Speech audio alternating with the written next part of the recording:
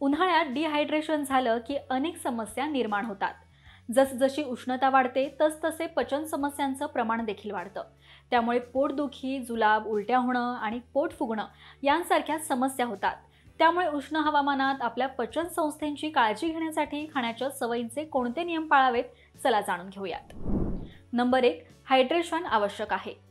कडक उन्हाळ्यात स्वतःला हायड्रेट ठेवण्यासाठी पाणी आणि पाण्यावर आधारित पेय जसं की ताजे बनवलेले रस आणि नारळाचं पाणी प्या. भरपूर घामामुळे शरीरात भरपूर पाणी कमी होतं आणि त्यामुळे भरून ते काढण्यासाठी रोज आठ ते दहा ग्लास पाणी पिणं आवश्यक आहे. नंबर दोन प्रोबायोटिकयुक्त पदार्थांचं सेवन करा. दही हा प्रोबायोटिकचा उत्तम स्रोत आहे हे प्रथिने आणि बॅक्टेरियाने भरलेला आहे जे पचन सुलभ आणि चांगलं करतात. दह्याचा मेन फायदा म्हणजे जुलाबापासून आराम देतं. नंबर तीन जास्त साखर असलेले पेय टाळा.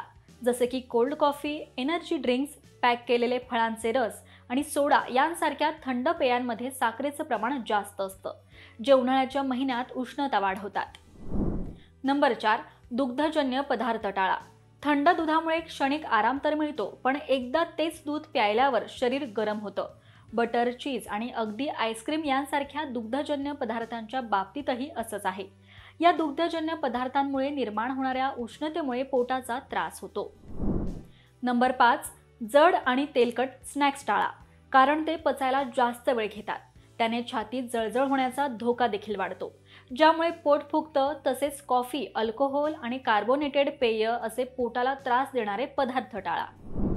नंबर सहा आहारात हिरव्या भाज्या आणि ताजी फळं जसं की सफरचंद नाशपती टरबूज काकडी यांचा समावेश करा.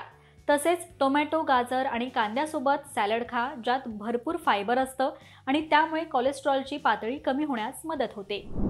नंबर सात नियमित व्यायाम करा. सर्वांनी योगा वेगवान चालणं आणि धावणं यांसारख्या गोष्टी केल्या पाहिजेत. कोणत्याही प्रकारची शारीरिक क्रिया पचनास मदत करतं आणि तणाव कमी करतं ज्यामुळे पोटदुखी कमी होते. तर हे उपाय उन्हाळ्यात पचनासंबंधित समस्या दूर ठेवण्यास मदत करतात. मात्र जर तुम्हाला पचनास त्रास किंवा गंभीर लक्षणे दिसत असतील तर डॉक्टरांचा सल्ला नक्की घ्या. आणि हा व्हिडिओ तुम्हाला कसा वाटला आहे कमेंट करून नक्कीच सांगा. पाहत रहा महाराष्ट्र टाइम्स. धन्यवाद.